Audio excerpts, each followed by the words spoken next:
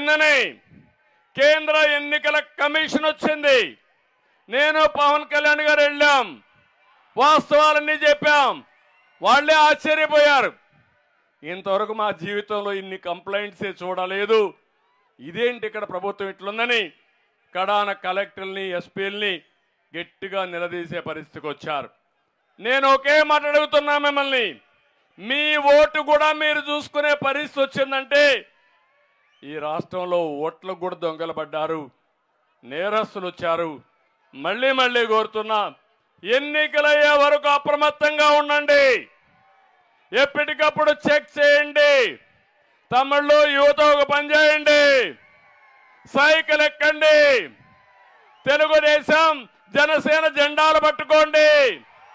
ఇంటింటికి వెళ్ళండి. ప్రజా చైతన్యం తీసారండి. అదే మరి ఒక గ్లాస్ కూడా తీసుకెళ్ళండి నీళ్ళు తాగాలనుకుంటే ఆ గ్లాస్ కూడా ఉపయోగపడుతుంది చేయాలి. కాబట్టి ఈ ప్రజా చైతన్యం కోసం మళ్ళీ ఇలాంటి దుర్మార్గుడు వస్తే ఏమవుతుందో చెప్పాల్సిన అవసరం మీకు అందరికీ ఉంది. ఎంత ఇదంటే కొత్త కొత్త అవార్డులు ఇస్తున్నాడు. ఎక్కువ తిడితే బూతుశ్రీ ఇంకా ఎక్కువ తిడితే బూతురత్న బూత్ భూషణ్ బూత్ సామ్రాట్. ఎవడెక్కువ బూతులు తిడితే వాడికి ఎమ్మెల్యే సీటు. ఎవడెక్కువ బూతులు తిడితే వాడికి ఎంపీ సీటు. పోటీ చంద్రబాబు పవన్ కళ్యాణ్ లోకేష్. తిట్టు నీకు పదవి ఇస్తా.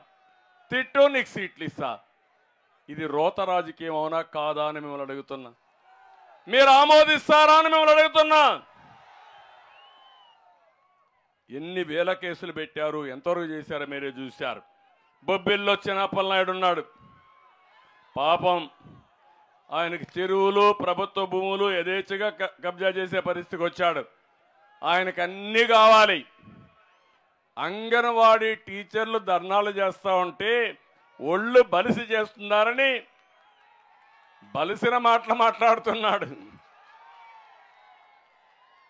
అంటే అంగన్వాడీలు పనిచేసేది పోరాటం చేసేది కడుపు కోసం పోరాటం చేస్తున్నారు నేను ఇచ్చా వాళ్ళకు.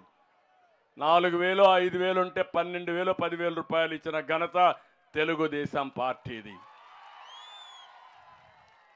వాళ్ళు జీతాలు పెంచమంటే వాళ్ళు ఎస్మా చట్టాన్ని తీసుకొని ఉద్యోగాలు తీసేస్తాడంట నీ ఉద్యోగమే తీసిపోతున్నారు రేపు ఎల్లుండో. వాళ్ళ ఉద్యోగాలు ఏం తీస్తావు నువ్వు? అందుకే ఆమె ఇస్తున్నా. ఎవరైతే ఆందోళన చేసే ప్రతి ఒక్కరి యొక్క న్యాయమైన కోరికలను పరిష్కరించే బాధ్యత తెలుగుదేశం జనసేన తీసుకుంటామని వారందరికీ హామీ ఇస్తున్నా. ఇంకో పక్క విజయనగరం ఎమ్మెల్యే అట్నే ఉన్నాడు. అందరిని కూడా నేను చూశాను ఇక్కడ. ఏడు మంది కూడా ఇదే విధంగా ఉండే పరిస్థితి కొంచెం కడాన హెచ్చర్లు అయితే ఆ ఎమ్మెల్యే వేధింపులు తట్టుకోలేక సాక్షి విలేకరి ఆత్మహత్య చేసుకుని ఆ ఆత్మహత్య చేసుకుని నోటు కూడా పెట్టాడు సూసైడ్ నోటు పెట్టారు. నేను అడుగుతున్న సిగ్గు లేదా ముఖ్యమంత్రి మీకని? నీదే కదా సాక్షి పేపరు? నీ విలేకరిని ఆత్మహత్య చేసుకునే విధంగా చేసిన నీ ఎమ్మెల్యే పైన అందులో ఎస్సీ అనుకుంటానాయన ఎందుకు కేసు పెట్టలా? అంటే నువ్వు ఎంతమందిని బలేస్తావని అడుగుతున్నా? ఇలాంటివి చాలా జరిగే పరిస్థితికి వచ్చింది. అందుకే ఈ విషయాలన్నీ మీకు చెప్పాలనే ఉద్దేశంతోనే నేను ఈరోజు వచ్చా. పండగ సమయంలో ఒకటే కోరుతున్నా. ఇక్కడికి వచ్చినప్పుడు ఇంకా కొన్ని సమస్యలు కూడా చెప్పారు. బొబ్బిల్లో అన్న క్యాంటీన్ నేనే చెప్పా పెడతామని చెప్పి విజయనగరం కార్పొరేషన్ పరిధిలో తాగునీటి సమస్య పరిష్కరిస్తాం. విజయనగరంలో మనం కట్టిన నాలుగు వేల టిట్కో ఇండ్లు. రంగేసుకున్నాడు రంగుల పిచ్చోడు. ఇల్లు మాత్రం పూర్తి చేయలా. మళ్ళీ పూర్తి చేసే బాధ్యత తెలుగుదేశం పార్టీ తీసుకుంటాం. పార్వతీపురంలో నిజాం కోఆపరేటివ్ షుగర్ ఫ్యాక్టరీ ఉంది. అది కూడా సిక్ చేశారు. దాన్ని కూడా ఏ విధంగా పరిష్కారం చేయాలనో చేసే బాధ్యత తీసుకుంటాం. ఇక్కడే ఒక రైతు బజార్ ఎప్పుడో పెట్టాను నేను రైతు బజార్లు. ఆ రైతు బజార్ కావాలని కోరారు. తప్పకుండా బొబ్బిల్లో రైతు బజార్ ఏర్పాటు చేసే బాధ్యత తెలుగుదేశం పార్టీ తీసుకుంటాం. బాడంగి మండలంలో గొల్లాది వద్ద వేగావతి నదిపై వంతెన కావాలన్నారు. ఇది కూడా పరిష్కారం చేస్తాం. నెల్లిమరంలో జట్టి కావాలని మత్స్యకారుల కోసం కోరారు. రాజాం పాలకొండ ప్రధాన రహదారిని కూడా నిర్మాణం చేయాలని కోరారు. ఇది కూడా చేస్తామని చెప్పి కూడా హామీ ఇస్తున్నా. తమ్ముళ్ళు మళ్ళా నేను వచ్చిన తర్వాత రోడ్లకు మహర్దశ వస్తుంది. ఏ రోడ్డని కాదు ఒకటి హామీ ఇస్తున్నా అన్ని రోడ్లని బాగు చేసే బాధ్యత తెలుగుదేశం జనసేన తీసుకుంటామని కూడా మీ అందరికి హామీ ఇస్తున్నా. ఇంకో పక్క ఈ రాష్ట్రాన్ని పునర్నిర్మాణం చేసుకుందాం మళ్ళీ కాపాడుకుందాం.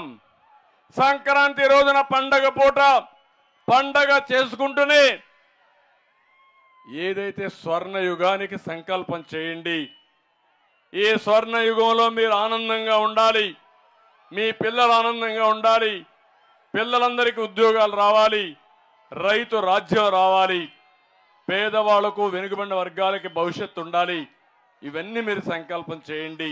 మీ సంకల్పాన్ని జయప్రదం చేసే బాధ్యత తెలుగుదేశం జనసేన తీసుకుంటామని మరొక్కసారి హామీ ఇస్తున్నా. ఇప్పుడు మీ అందరికి అర్థమైందా? ఉండే సమస్యలని అడుగుతున్నా. మంచి ఎండ ఆఖరి కూడా. ఒంటి గంటకి ఇంట్లో భోజనం చేసేవాళ్ళు.